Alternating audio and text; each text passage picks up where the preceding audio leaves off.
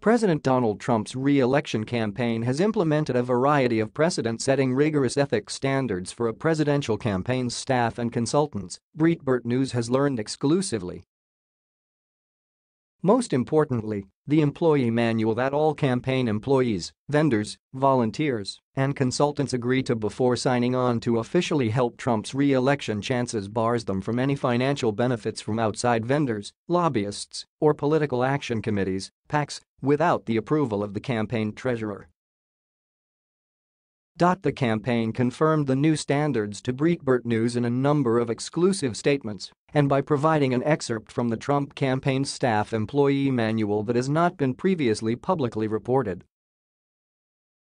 They are part of a larger effort by President Trump to drain the swamp his campaign's national spokeswoman Kayleigh McEnany said, and fit with the president's ethics pledge executive order for executive branch employees that he signed at the beginning of the administration, and with the fact that the president does not take a salary from the taxpayers but, instead, donates it back to a different part of the government every quarter. As a candidate, Donald Trump promised to drain the swamp, McEnany told Breitbart News.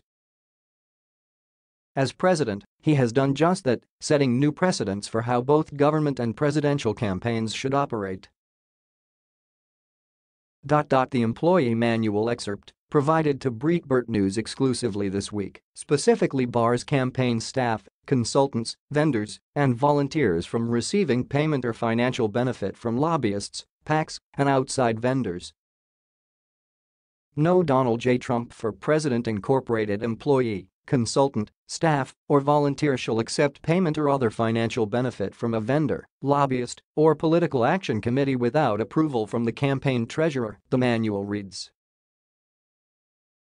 Without limiting this policy, no employee, consultant, staff, or volunteer shall accept compensation of any kind, whether money, fees, commissions, credits, or gifts, for the purpose of influencing the award of a contract or other business relationship with the campaign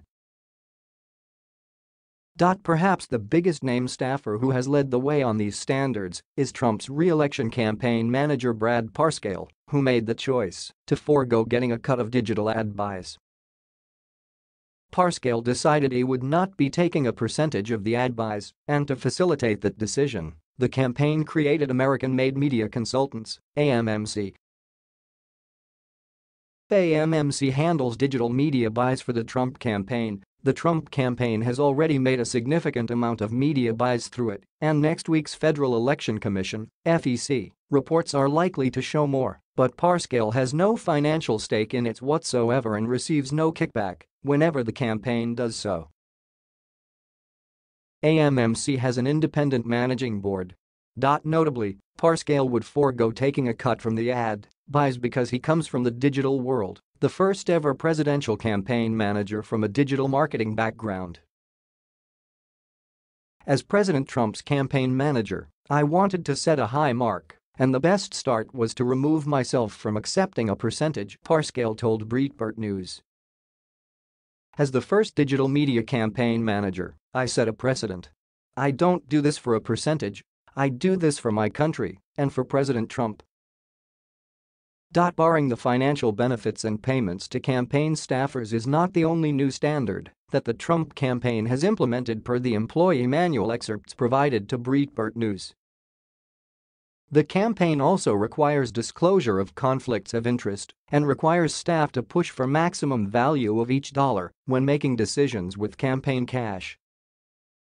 In addition, all campaign employees, consultants, staff, and volunteers shall disclose any conflict of interest that may exist with the campaign, the Trump employee manual reads, continuing. Other than a consulting company with which the campaign contracts explicitly for the services of a principal in that company, campaign employees, consultants, staff, and volunteers agree to disclose any financial interest they may have in a transaction between the campaign and a vendor prior to requesting a transaction with that vendor. All Donald J. Trump for President Incorporated campaign employees, consultants, staff, and volunteers are expected to strive to obtain the maximum value for each dollar of expenditure and decline personal gifts or gratuities which might affect their decision-making process. All are expected to conduct business with potential and current suppliers in an atmosphere of good faith and devoid of intentional misrepresentation. Michael Glassner, the chief operating officer, COO, of the Trump re-election campaign and a veteran of six different presidential campaigns, added in a statement that he believes these new ethics standards are the highest possible that a campaign has implemented. Having worked on six presidential campaigns, I can attest to the fact that the Trump campaign has the highest possible ethical standards, Glassner told Breitbart News. These new ethics standards for the Trump campaign come as part of a bigger push by the president and his team for a cleaner Washington, D. C. At the beginning of his presidency, Trump penned an executive order requiring all executive branch appointees to sign an ethics pledge banning lobbying for five years after leaving the federal government and banning appointees from ever lobbying for a foreign government. The ethics pledge that federal appointees must sign, thanks to Trump's executive order, also includes a ban on accepting gifts from registered lobbyists and lobbying organizations during the appointee's time in government and stipulates that hiring decisions and other decisions must be made on merit, not for other reasons. In addition to the ethics pledge for federal employees and the Trump campaign ethics guidelines, President Trump does not take a salary from the taxpayers. According to Reuters, he is only the third president in history not to take a salary. Presidents John F. Kennedy and Herbert Hoover, who were both, like Trump, independently wealthy, also refused salaries.